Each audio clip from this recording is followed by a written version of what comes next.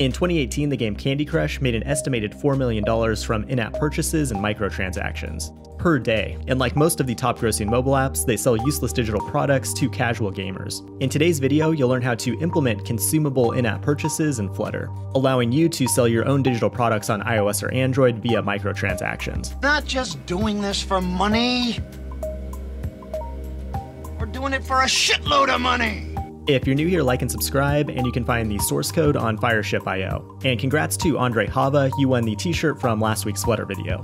Let's start by talking about how in-app purchases work from a high level and how to use them successfully in your app. The first thing you should know is that there are three main types of in-app purchases. Consumables are products that are depleted that can be purchased multiple times, like coins in a game. Consumables are what we're focused on in this video, and we'll build a feature that allows the user to buy some gems, consume them, and then buy some more. The second type is a non-consumable, which is something the user purchases once, like an upgrade, and then should never have to purchase it again in the future. And the third type is a subscription, which gives the user access to the purchase for a limited limited amount of time. Now, these concepts apply to both iOS and Android, but there are some subtle yet important differences that we'll look at when we get into the code in a few minutes.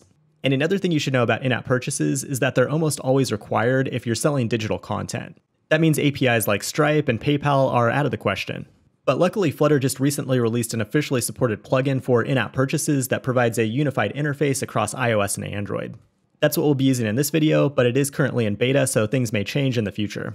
Now, when it comes to making millions of dollars per day, you need to build an app that's both highly addictive and that targets a wide audience. I wasted everyone's money, I wasted everyone's everything, and I feel bad. You don't think I feel bad? You should design your interface around dopamine hits and compulsion loops. In other words, reward the user on a regular basis, but always keep them chasing the dragon. Dad, get off our Xbox! Hang on, I almost caught the dragon. you almost got me. No! No, I said! I am your father! Put it back on! Mom, you get Dad out of here! So now that you know how to design your app, let's go ahead and get into the technical details. The first thing we'll take care of is the initial setup for both iOS and Android. For iOS, you'll need to have an Apple developer account, and I'm making the assumption that you have a release of your iOS app on App Store Connect. It doesn't need to be on the public App Store, just App Store Connect for use with things like TestFlight.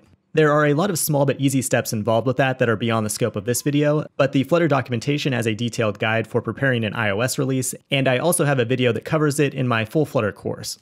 In App Store Connect, we'll go to the Features tab, add a new in-app purchase, making sure that it's a consumable type. Then we'll give it a name and a product ID, and we want to keep a note of this product ID because we want that to be the same on the Google Play Store. And everything else is just the pricing and display details for your actual product. So now that we have our product, we'll go into Xcode and enable the in-app purchases capability. Select the build target, go to the capabilities tab, and then flip the in-app purchases switch to on. So that takes care of the Apple App Store. Now let's switch gears to Android and the Google Play Store. At this point, I'm assuming that you have a Google Play developer account, and you'll also need to go through the steps to create a signed release that can be uploaded to Google Play. And once again, there are a lot of easy steps involved beyond the scope of this video, so refer to the Flutter documentation or the full Flutter course. Once you create the actual signed APK, you'll need to create at least an alpha release for your app, and that will allow you to test the Google Play billing API locally on your device. The Google Billing API simply won't work if you don't have a release created for your app. And you'll also want to add your email address as a tester on that track. From there, we'll go to the Store Presence tab, then to In App Products, and then go to Manage Products. Now, on Google Play, you don't actually select a distinction between consumable and non consumable. Instead, you handle that directly in the app. And we'll see how that works in the source code in just a minute. For now, we'll go ahead and create a new product with the same product ID that we used on iOS. Now make sure to set your product to active, and then everything else should be pretty self-explanatory. Now that we have the initial setup out of the way, we can start developing our Flutter app. Now I want to start by saying that the code I'm about to show you focuses on the API of the in-app purchases plugin. I want to keep the implementation details as unopinionated as possible, so I'm only using the tools that are built into Flutter, but this is a type of feature that could benefit from things like Provider, BLoC, or Firebase, to manage the state of your purchases across multiple devices and screens. But I'll leave those decisions up to you. I just want to show you how to build a minimum viable product using nothing but a stateful widget. The first thing we'll do is add the plugin to our PubSpec YAML. Then we'll go ahead and import it in our Dart file along with IO so we can do platform checking. I'm calling this the market screen, and let's start by looking at the different properties or state available on this widget. First, we'll make a reference to the in-app purchase connection instance, which gives us access to all of the API methods in the plugin. That'll just keep our code nice and concise. The first part of the initialization process is to check if the API is actually available on this device. Then we'll set up a list that keeps the product details that we query from the Google Play Store or the Apple App Store, and then also a set of purchase details that gives us the user's past purchases. Then we'll also set up a subscription that listens to a stream of updates to the purchase details. So this stream will emit a new value when the user buys a product in the app or if they buy a product from a different client. And lastly, I have a placeholder for credits, which is just used to represent the consumable product in this demo. Now, moving on to the lifecycle hooks, during init state, we're going to fetch the products and purchases from the corresponding marketplace. And that stuff is all asynchronous, so we'll move it into its own method. And we also have a stream on this widget, so we'll want to make sure to cancel it. Now, the next thing we'll look at is the actual UI itself, which is very simple in this case. We have a scaffold with an app bar that will either display open for business or not available, depending on whether or not the in app purchases API is available. From there, we'll loop over the products that we fetch from the marketplace. And then for each product, we'll need to determine if the user has a past purchase for it. If they have purchased a product, then we'll create some custom logic to allow them to consume it. Otherwise, we'll just go ahead and display a button that allows them to make a new purchase. This is just a bare minimum UI example, so you'll definitely want to customize it to fit within your own app. Now, the next major hurdle that we'll tackle is initializing all of the data in this widget. We'll do that with an async method called initialize that we call during the init state lifecycle hook. First, we'll check to see if the API is available, and then if so, we'll go ahead and retrieve the products and the user's past purchases. And I've moved that logic into individual private methods just so we get a clear picture of all the steps involved. And I'm sure someone will call me out on this, so instead of awaiting products and then awaiting purchases, you can do it concurrently by using future wait and add both of them together in a list. And that will run them concurrently for better performance. Now, just because you have retrieved a purchase does not necessarily mean that it's valid. So we'll also need to implement some business logic to verify a purchase. And then throughout the lifecycle of the app, the user will hopefully purchase additional products, so we'll want to set up a subscription to the purchase updated stream. This stream will emit a list of newly created purchase details. So when the stream emits a new value, we can take those new purchases and then append them to the existing list on this widget. What you don't want to do is override the existing list because the stream only emits new purchases. So that's just something to keep in mind. So now let's look at the implementation details for this data retrieval. First, we get products, which is no different than making an API call or reading from a Firestore document. We just create a set of the product IDs that we want to retrieve from either the App Store or the Google Play Store, and then we run in app purchases, query product details. That's going to give us a response, and then we can check that response for errors or to see if any of the product IDs are missing. But for the sake of simplicity, we'll call set state and set the products equal to the response product details. So that gives us our products for sale. Now we need to get the user's past purchases. This is a very similar process, but instead we call query past purchases.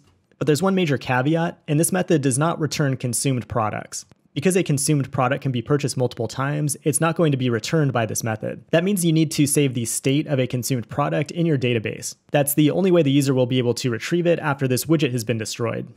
So getting past purchases from the actual marketplace itself is really only relevant for non-consumable products. But one other caveat that you should know about is if you retrieve past purchases, you'll also want to mark them as complete on iOS. Now, if you do have a consumable product, it will be 100% your own business logic to retrieve it. If this were my app, I would be using Firebase, so I would most likely retrieve it from the Firestore database. In any case, the final step here is to call setState and set the purchases list on this widget.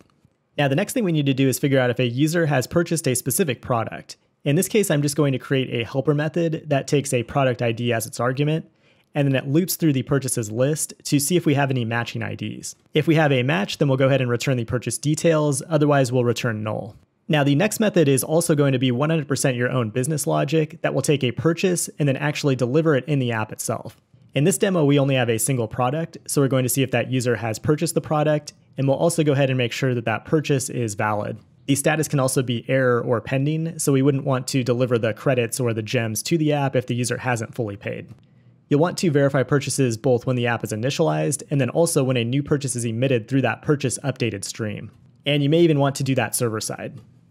So at this point, we have all of the necessary data loaded into our widget, and now we need to give the user a way to purchase a product as well as consume a product. Inside of our products loop, we'll have access to individual product details, which we can then pass to this buyProduct method to create a purchase param. That will send the necessary data over to the corresponding marketplace, and then because Android doesn't make the distinction between consumable and non-consumable, you need to do that when you purchase the product. So for one-time purchases, you'll use buy non-consumable, But in our case, we want the user to buy this multiple times, so we'll say buy consumable. Now, by default, it will be marked as consumed automatically, which means it's up to your own business logic to control the state of that purchase. However, I would like to point out that you can set auto consume to false, which only applies to Android, and that will prevent the user from purchasing that product again until you actually mark it as consumed. And we can actually demonstrate how that works with our next method here called spend credits.